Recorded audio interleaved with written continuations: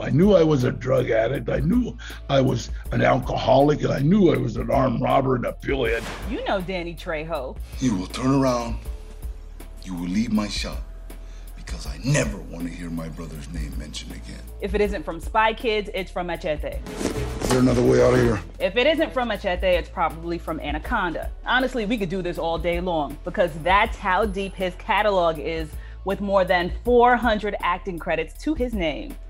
But this is Danny Trejo as you've never seen him before.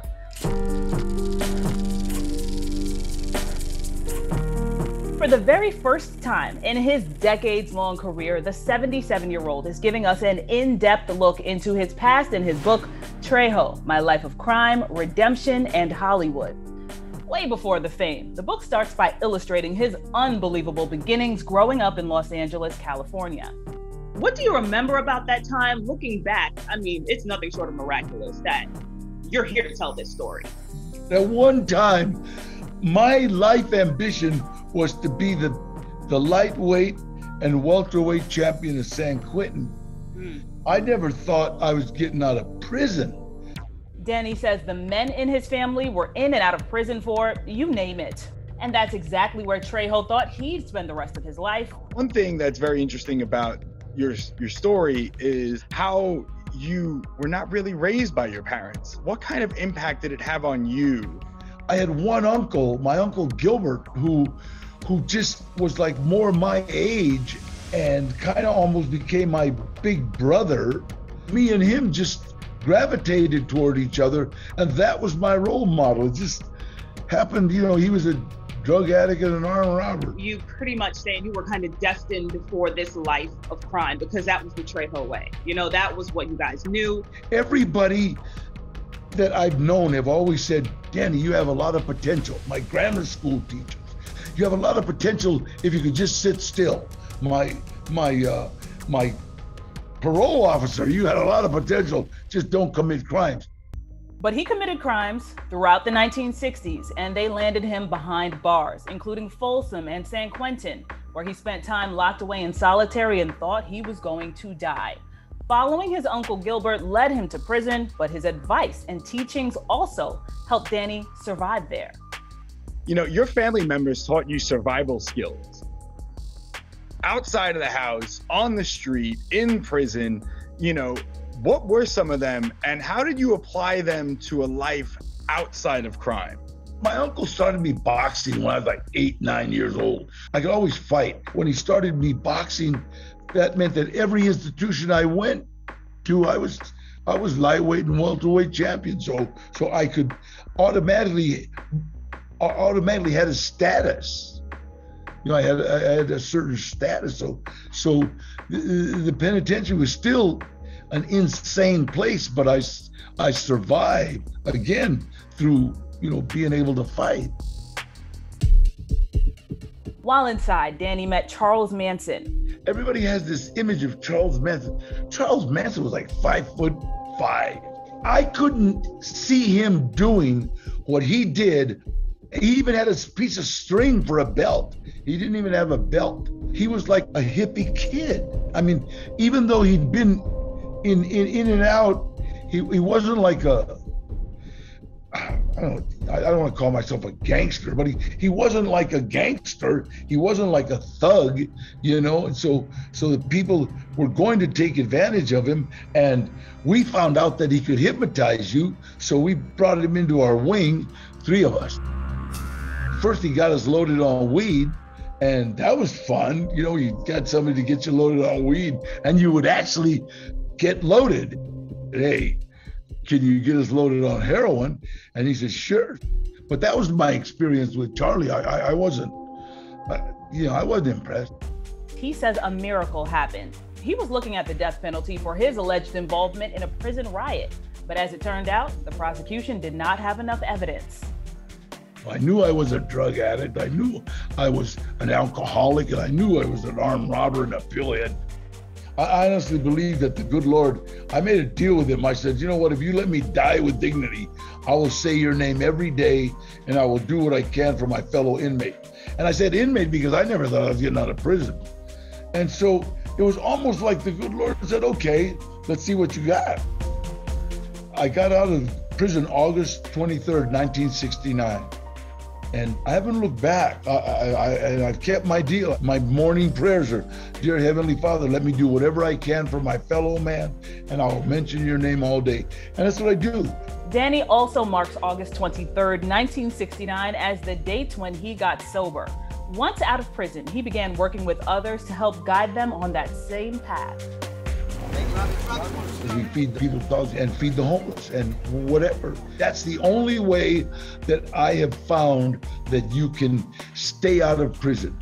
Get rid of drugs and alcohol and do what you can for your fellow man. And it says it good things will come to pass. After prison, Danny started working with programs around Los Angeles, helping others get sober. In the middle of one night, after getting a frantic call from someone working as an extra pleading for his help to stay sober, he went searching for the guy on a movie set. The director saw him and asked him if he wanted to be in the film. He said yes, and that is how Danny Trejo entered his second act. Honest to God, everything good that has happened to me has happened as a direct result of helping someone else. Everything. I was trying to be an extra. I met a kid that took me to this one film ran into a guy named Eddie Bunker, and uh, Eddie, again, boom, all of a sudden, me and him just became best friends. And all of a sudden, I was an actor. You know, I got cast as a boxer in a movie called Runaway Train with Jon Voight and Eric Roberts. I haven't looked back. I played inmate number one. I played bad guy. I played Chicano dude with tattoos I never had a name the first, I think, five years of my career until I did a movie called uh, Penitentiary 3 with Leon Isaac Kennedy. I, I, was play, I was severe and I actually had a name.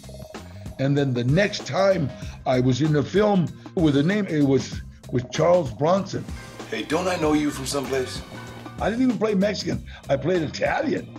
I yeah, was, buddy. Yeah, really. I was, uh, Art Sanella, I got to get blown up by Charles Bronson.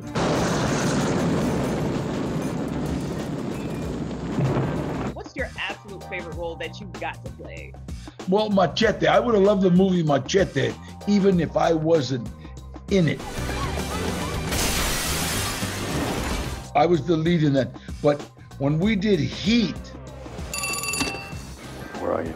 There's cops all over me, man. They're on me like a cheap suit. Uh, I got to play with Robert De Niro, and Michael Mann had done a film called uh, The Jericho Mile in Folsom. So when he saw me, first he said, Hey, Gilbert, because that was my uncle's name. He knew Gilbert from Folsom when he did the Jericho Mile. And we started talking, and he could not get Gilbert out of his mind when he saw me. So if you see Heat, my name in Heat is Gilbert Trejo. Oh, wow. What are you working on? World's smallest camera. I have heard, look, mommy, the man from Spy Kids in 50 different languages. Every airport there'll be a, and still, he, he made these movies timeless because I have five year old kids showing up, you know, ah, Uncle Machete from Spy Kids. You're our uncle? A real uncle? Because we already got a fake uncle. The biggest thrill that I've ever had because of the movies is on, on Halloween, kids will come to the door and they'll be dressed like Machete with their little painted mustaches and, and who are you? I'm Machete, you know. Oh God. the best feeling, especially, you know, as a person of color, we don't see Mexican superheroes. We don't see black superheroes that often. This is only now coming into the public consciousness. How does that make you feel? You could have never imagined that. You know, it, it's funny because uh, the biggest feeling is when I go to juvenile halls and I go to youth authorities and I go to prisons. But I, I was in, a, the Dallas airport one time and I was standing there. This kid is looked staring at me, and uh, him and his wife and kid came over and said, "Danny, I want to thank you. I heard you talk in juvenile hall, and it changed my life. And this, you, you know, it's hard not to your your lip almost starts quivering when when you think like, man, you mean what I said made an impression? Yes. That's why I sign every autograph. I take every picture simply because it's, yeah, uh, you know, it's, I mean, it's just what a blessing to be able to make somebody's day. All right, all right. Tacos I've had. He sure does when he pops up on customers at Trejo's Tacos or Trejo's Donuts. I, I like making people happy, and it's like when I show up, it kind of gives them a smile. Some of them say, "What are you doing here?" I said, "What are you talking about, man? I'm enjoying myself." You know. You're 77 and you, and you got the fire still burning inside you to keep going. And I hope you don't stop. But now do you feel like the pieces are back together in your whole? Or you still feel like you're broken? No, I, I, I feel I feel whole and I feel free, but I think right now I'm kind of dedicating the rest of my life to my kids. I'm 77 and a lot closer to the end than I am the beginning. So I'm just living it out. Whatever happens, happens.